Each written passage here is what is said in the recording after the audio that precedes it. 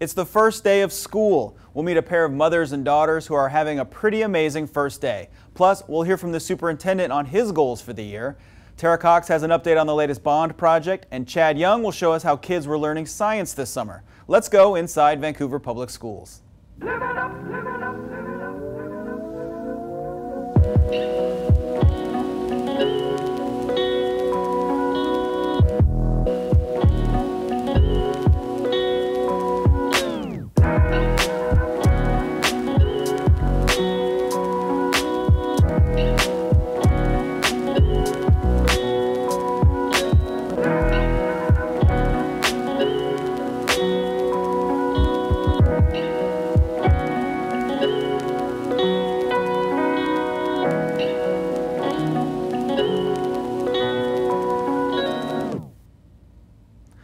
everybody, I'm Nick Vole. Welcome to the show and welcome back to school. It's one of the most exciting days of the year and we have so much stuff for you. But here's what you really came to see, cute videos of kids. Out front at Sarah J. Anderson Elementary this morning, parents were grabbing those last minute drop off pictures of their kids for Facebook, and school staff at Anderson provided those fun frames. Of course, managing a crowd like you always see on the first day of school can't be easy with all the parents and grandparents dropping off students, so kudos to school staffers across the district who managed it all with a smile. And let's see some more cuteness in our top three. These are our favorite social media posts. Number three comes from a parent and student at Truman Elementary School. This fourth grader is, as the hashtag indicates, a self-manager who takes care of herself in the classroom. Note the other hashtag, VPS Back to School. Use it on your social media post today to show off how your child went back to class. Our number two is a good reminder from reporter Evan Bell of KATU Television. He reminds us that police in Portland and, of course, here in Vancouver are out there looking for speeders in school districts. It's 20 miles an hour when kids are present, so be sure to slow down. Not just because you might get a ticket, but also to keep those kids safe. And our number one comes from Sarah, who posted photos of her sons as they headed off to 8th grade at Alki Middle School. Note, she used the hashtag VPS Back to School. You should do it too. These guys are dressed to party and to learn, of course. This photo made me laugh when I saw it. I love the rabbit ears, and I hope it did the same for you. Thank you, Sarah, for sharing. The first day of school is always full of nervous and excited kids stepping into a new classroom. And for first year teachers, the feeling is mutual. At Anderson Elementary, we met a teacher who is starting a career by following in some pretty impressive footsteps. Amanda Richter has her story. In 1991, Teresa David began her career as a teacher at Sarah J. Anderson Elementary. 28 years old at the time of the photo. I was hired the weekend before school started and I was still waiting tables, my other job that I had all through college too. So I had to work I had to wait tables all weekend and set a classroom up in like two days. Despite the stressful start, Teresa found success in the classroom and in her personal life. By the end of my first year of teaching at Anderson, I was pregnant with Abby. Now, 26 years later, while Teresa prepares for the school year as principal at Truman Elementary, her daughter Abby is getting ready for her first day as a teacher. I want to make a good impression. Not only is Abby following her mom's career choice, she's doing it at the same school, Anderson Elementary. I mean, out of all the schools, it's like, what are the chances that I end up at the same one? Um, but I think it's kind of cool. It's sweet, you know, to be following in her footsteps. The idea to teach, long simmering for Abby, was really cemented when she was working at a daycare. Once I actually got to teach a lesson for the first time at my daycare was when it hit me. I loved it and I felt like it was natural.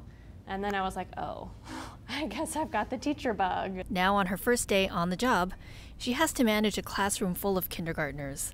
She's getting advice from mom. Stay positive, believe in yourself. You know so much more than you think you know. Abby's also taking the kind of approach she'd ask of her students. Ask questions. If you're not sure, just ask.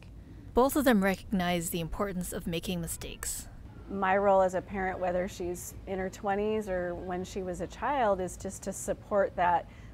Pick yourself back up, dust yourself off. What did you take away from it? And what are you going to do differently moving on? And that's learning.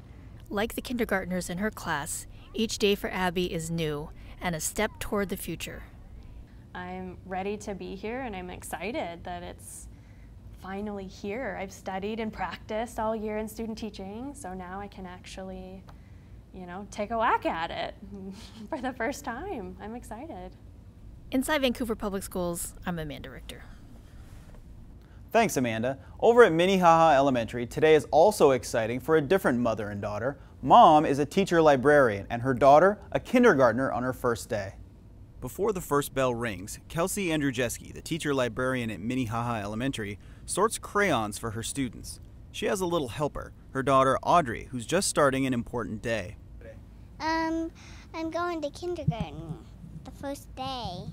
It's also a big day for Kelsey. She is my first off to school, so yes, I'm having all the first day mom emotions at the moment. Audrey's been looking forward to finally going to school. She has been counting down the days, how many wake ups until kindergarten starts, haven't you? Yeah, cause mom bought me books, and there's like there was books, home a book until the night before kindergarten. Even though Kelsey is the teacher librarian, not Audrey's teacher, they'll get plenty of FaceTime. Well, I think I have a library class today, and my class is gonna come to the library, and we're gonna do an activity with my mom. Audrey says she'll remember to say Mrs. Andrzejewski, not mom. But if she slips up, She's had kids call her mom before, so it's okay. the clock is about to strike nine, so Audrey's mom and dad walk her down to class. Her teacher is Mrs. Greenwood. I think she's gonna be really excited for me to be in her class. Mm-hmm. After a hug and a goodbye, Kelsey leaves Audrey with her classmates with just a little bit of emotion. And I know that she couldn't be in better hands with the people that she's going to be with here, so I feel really great about it because I know this is a great place. Audrey digs in on a project, the first of countless assignments to come, a smile on her face, ready to begin a lifetime of learning. Teachers and students are excited for today, of course, but so too are district leaders. School board members, top administrators, and more split up every year to tour schools on the first day. Collectively, they visit every building in the district. We caught up with this group at Vancouver School of Arts and Academics. School board member Michelle Giovanozzi, VEA President Lynn Majorca, and Superintendent Steve Webb stopped off at five schools. We're here to join the students and see what the first day of school is like and, and all the excitement and um, how the classes are going. And The excitement, the anticipation, the potential of the students in the year ahead. It's exciting to be a part of that. Other board members and administrators stopped off at the rest of the schools. One of the administrators making the rounds this morning was the school district's superintendent, Dr. Steve Webb, and he joins us now. Steve, thanks for coming in. Pleasure to be with you, Nick. So why do you and your fellow administrators like to get out on the first day and get into the classroom? You know, what's not to like? Uh, eager students, eager staff, and certainly eager parents. There is so much joy and hope at the beginning of the school year. Before you were superintendent, of course, you were a teacher. When you go into the classroom like this, does it make you miss being in the classroom every day? You know, I absolutely love teaching. I absolutely loved coaching. There's not a fall that goes by that I don't wish I had a classroom or I was walking the sideline of a Friday night football game. Uh, it reminds me just how special and powerful educators are in transforming the lives of children. Every year we start the school year, uh, we all have goals. Uh, you, of course, set goals for the entire district. Could you kind of talk about what you're hoping for for uh, Vancouver Public Schools this year? We have uh, three focused goal areas this year. Uh, the first is around equity. Fundamentally, it's about closing achievement and opportunity gaps, particularly in ELA and math achievement. The second goal area is about excellence, which really is continuing to focus on scaling our Design 2, Chapter 2 strategic plan, particularly as it relates to removing barriers to student learning through our community schools work. And the third goal area this year is really about innovation, continuing to scale our digital transformation We Learn vision, scaling coding, and making and maker spaces in our schools. Mm-hmm. So those first two priorities, it seems like you're talking a lot about making sure that the experience of every kid at every school is the same regardless of, you know, what their family life is like. and any other external circumstances. Yeah, fundamentally, we know that if a child is hungry, it impacts their ability to learn. If a child does not know where they are going to sleep tonight, it impacts their ability to learn. And our community schools work really is about the village, schools, family, and community, interacting as partners to strengthen opportunities for kids to learn and grow. And really, this is about leveraging resources that remove barriers to student learning in our classrooms and schools. Well, speaking of families, you have students in Vancouver Public Schools. What is the first day of school like for you as a dad? Oh, it's a crazy busy morning making lunches, getting kids' backpacks ready to go, getting them into the pickup truck, and dropping them off uh, at school. Uh, but listen, uh, all children have three universal needs uh, to feel safe and secure, to feel loved and a sense of belonging, and to feel competent and capable. And it's incumbent upon us to create the context and conditions in every single classroom, in every single school, where those needs are met routinely. You know, uh, parents don't give us their children, they don't give us their students, they give us their babies. I've witnessed enough boohoo kindergarten drop offs and sat through enough commencement exercises in my career to know that those tears are the same on the front and back end. And, uh, you know, we've got a moral obligation to treat that sacred trust with reverence. Mm -hmm. So we have to begin with that end in mind. Okay, sure. Uh, well, at the beginning of the year, this year, we talked a lot about hope, what people are hopeful for the school year. Uh, your whole welcome back message is sort of geared around that. I want to know what you yourself are hopeful for in this new school year. I'm hopeful that we're going to continue to create the context and conditions in every classroom, in every school, that cultivate wonder, curiosity, and the joy of learning for our students in Vancouver Public Schools. Great. Thanks for uh, taking the time to join us and uh, have a great school year. Yeah, thank you, Nick. On the topic of hope, the superintendent asked students and staff to share what they're hopeful for and got dozens and dozens of responses. We've compiled those into a cool welcome back video for the new school year. You can watch that on the district YouTube and Facebook pages. Make sure you check it out and thanks to all of the people who submitted their selfies. Time now for We Learn, where we examine how students and staff are using technology in the classroom. This summer, kids didn't let the fact they were out of school stop them from learning about science. Chad Young joins us now with more on summer science camps. Chad? Thanks, Nick. I'm here at McLoughlin Middle School, where earlier this summer there was an all girls robotics camp. Now, the goal of the camp is more than just to keep girls learning when they're out of school, it's STEM that's science, technology, engineering, and math. And the focus is to keep them going throughout their academic careers and into life.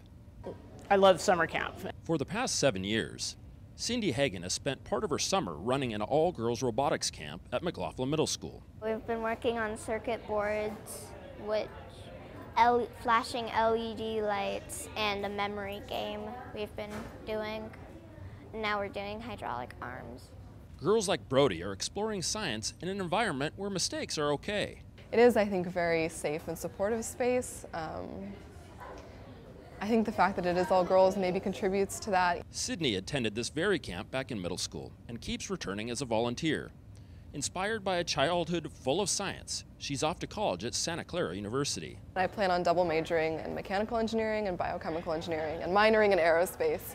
Um, yeah, and I want to be an astronaut um, or maybe a doctor. It's kind of open-ended at the moment, but... The sense of unlimited possibilities that Sydney feels isn't always shared by women interested in science. Some people don't treat women or girls like people. They think they're of a lesser value and can't do things that men can do. The reality of that environment has led to a shortage of women in STEM fields. What the research points to also is that once girls reach middle school, they start to not take those STEM classes, although they show a high interest in STEM uh, when they're in elementary school. This camp and similar activities look to balance the STEM workforce. I hope that they continue to just follow that passion that they have and know that it is cool to be a girl in STEM classes. Also, having science role models like Cindy and Sydney is a big deal for Brody. There are a lot of inspiring women, and I want to be one of those someday. The camp will return next summer, but be sure to sign your daughters up as soon as you can because they had 12 kids on the waiting list this year. Over at King Elementary, another science camp packed them in this summer. The summer STEM camp focused on science and literacy and drew a big crowd of boys and girls. There wasn't a lot of sitting around looking at textbooks. Kids were on their feet and using their hands. We all know the importance of engaging students in hands-on activities. Students love these activities. The camp was open to grades 2 through 5 and was paid for by community donors, making it free to parents. Lunch was free too, thanks to ShareHouse. It lasted a full five days, so there was lots of time for all kinds of experiments. If you want to see more stories about technology, check out our YouTube page. That's youtube.com slash vansdtv. Back to you, Nick. Time for Reschools, the latest on the bond measure voters passed back in February and the projects that are coming out of that. And joining us now to talk about it is Tara Cox. Tara, what's the latest? Thanks, Nick. As people might remember, voters in Vancouver approved a bond measure in February to build and replace schools and do improvements at every existing school. One of those projects this summer was at Skyview High School. A crew went behind the school building this summer to resurface the track. That meant scraping off the old track, cleaning the surface, and laying down layer after layer of rubber. The old track was more than 20 years old. The average lifespan for a track is 10 to 12 years, but the district's maintenance team was able to stretch it out longer at Skyview. We've got a pretty uh, elaborate uh, PM maintenance program that we do on our athletic fields, and so I mean, without that, uh, you know, you know, at least we know we're getting our, a big bang for our buck with this stuff. So. Twice a year, the maintenance team inspects and repairs small damage to the track to prevent it from becoming a major problem. This project was completed before the start of the football season. The team practices in the grass inside the track, and watering had to be shut off during the project. If you want to get more information on the bond construction projects and the timeline, just head to the district's website. That's vansd.org slash reschools. We'll also keep you updated on this show and the district website. Nick, back to you. Time now for the big picture, our favorite image from social media this week, and it comes to us from Hough Elementary School. Meet Luna, the, the, school's new therapy dog. She is named after Luna Lovegood, a Harry Potter, Harry Potter character, and is there to provide comfort to students, especially those with special needs. Many children are calmed by dogs like Luna, who is specially trained to work with kids. And you can keep up with Luna and her adventures at HoughLovesLuna.com. Uh, The Hough Foundation provided a grant to pay for Luna and all of her training. Hey now, let's see what's happening across Vancouver Public Schools, and this one's important if, if you are the parent of a elementary age student. Curriculum nights are coming up, and those are a big deal to attend. Learn what your child will be learning this school year. The first is next week at Felida, but most of them will be on the week of September 11th. Check in with your child's school or on the calendar at the district's website to get the day and time, and be sure you attend. And that is it for us. I hope your first day of school was as fun as ours, and let's make this a great school year. For Tara Cox, Amanda Richter, Chad Young, and our crew, I'm Nick Vole. Thanks for watching.